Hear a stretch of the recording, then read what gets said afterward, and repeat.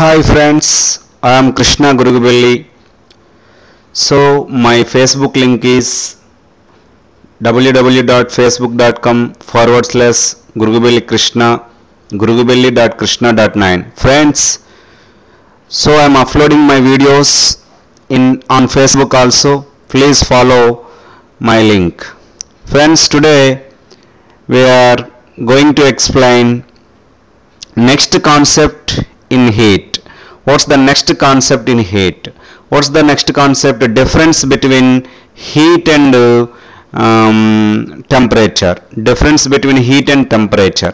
Difference between heat, heat and temperature concept we are going to explain.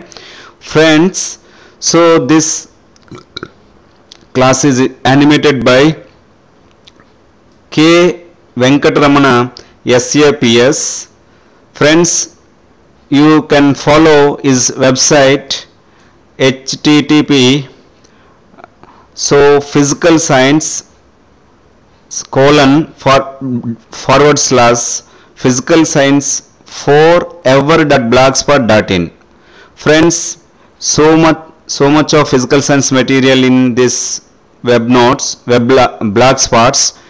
So you can follow his website. Today what's the difference between heat and temperature? So let's explain now. So this is the first i'm asking some questions. What is the temperature? What is temperature? How can you differentiate it from heat?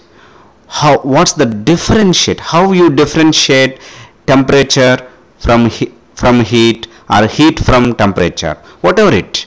So these both quantities are already introduced in uh, previous lesson. That's why let us find now.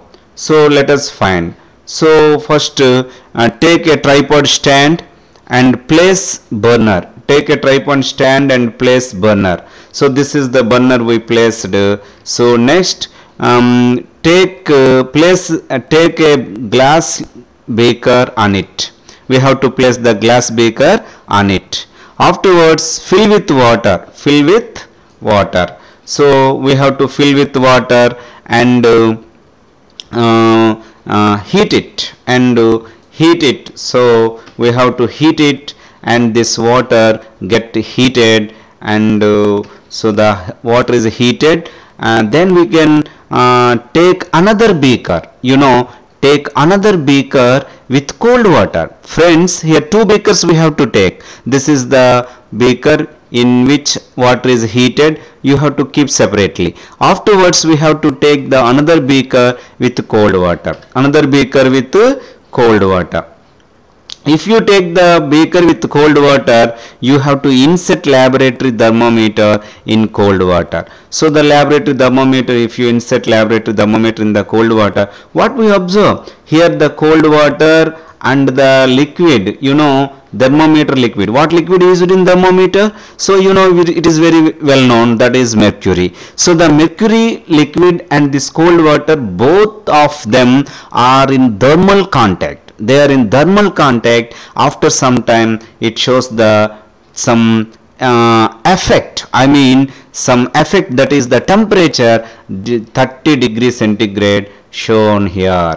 So what happened 30 degree centigrade? At 30 degree centigrade this mercury level is steady it is no no no longer no further increase or decrease. No further increase or decrease. It will study at 30 degree centigrade. That means this mercury in the thermometer and this cold water in thermal thermal equilibrium. Okay?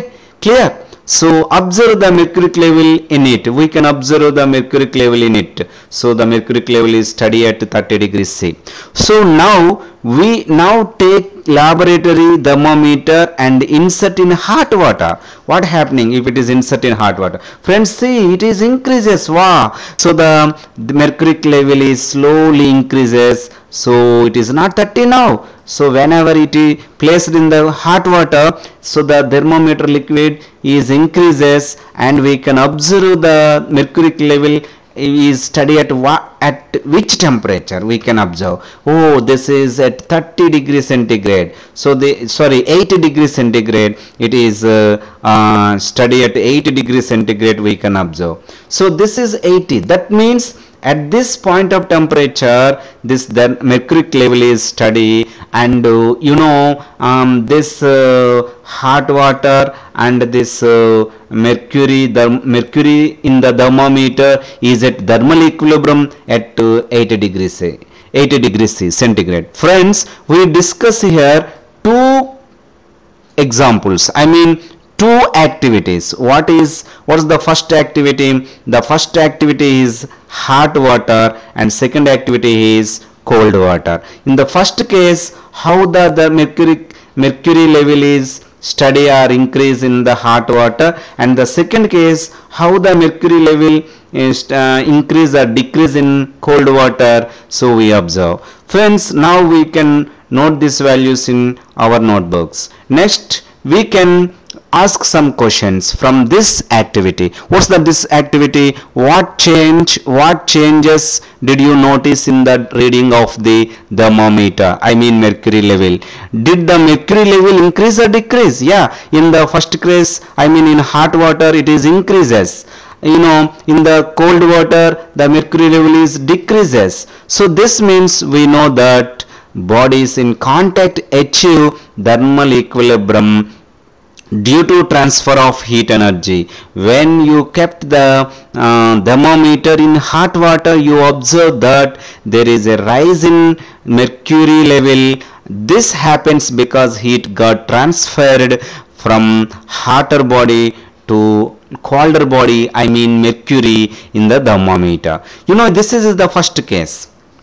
But what happened in the second case? You know in the second case similarly in the second case you will observe that the mercury level comes down from its initial level because uh, of the transfer of heat from mercury. I mean here mercury uh, is a hot hotter body to water that is cold water. So thus we define heat as follows. From this activity we can define the heat. So what is happened in the first case and what is happened in the second case? In this activity we can concluding that so what is heat? Heat is the form. Heat is the it is a form of energy in transit. In transit it can transfer. That flows from a body at high temperature to uh, to a body at lower temperature. This is this is very important definition. So you know this is very important definition for heat. So from this activity we can understand that. So the so heat is a form of energy in transit that flows from a body at a high temperature to a body at low temperature. Okay friends clear? So that is the definition of heat. Now from this activity we can concluding that so some effect. So what is the measure of this uh, flow of uh, uh, form of energy? So the in this activity we the steadiness of i'm asking so the so um uh, the steadiness of mercury column of the thermometer indicates that flow of heat and heat between the thermometer liquid and water as stopped. Whenever it is stopped when whenever the the mercury uh, is thermometer liquid is stopped because there is a study whenever it achieves some state that state is nothing but in previous class we discussed thermal equilibrium has been attained. So between water and water and thermometer liquid.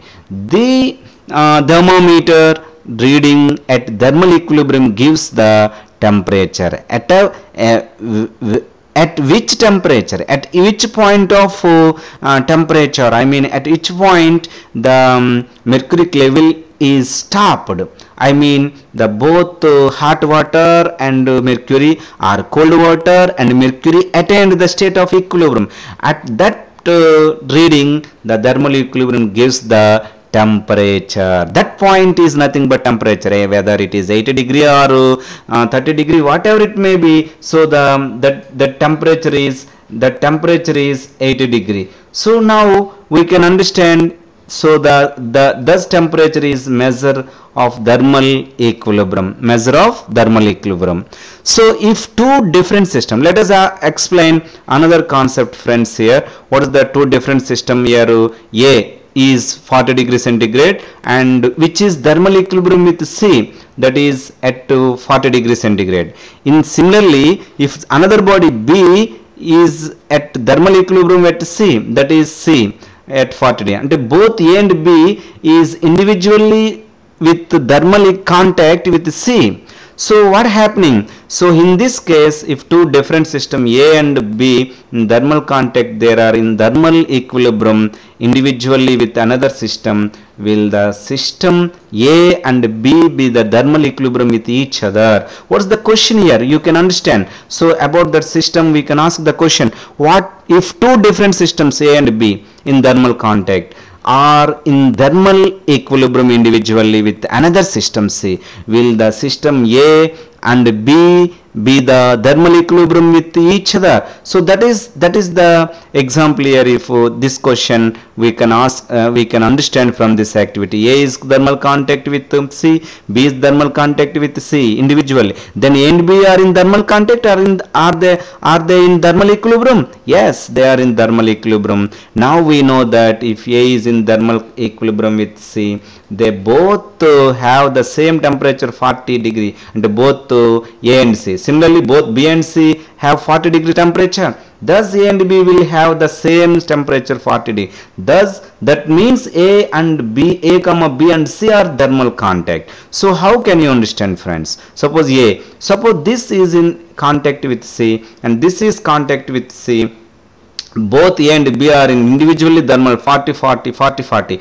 now what happening? If A and uh, if A this is A A this is A now and B. So now B are in thermal contact friends. This B and now thermal contact. This is very important. See see friends this is uh, here A, A is with thermal contact with uh, C and B is thermal contact with uh, C. But in this case both A and B are thermal contact with C at 40 degree centigrade. This is about the thermal equilibrium. Now so this uh, thermal equilibrium and this concept I mean uh, this is the concept of uh, the, um, the thermal equilibrium in both A, B and C bodies. Now we can introduce so the from this act activity we can differentiate temperature is effect and heat is cause. Heat is cause because the why why the mercury is increases or decreases because of heat that is cause.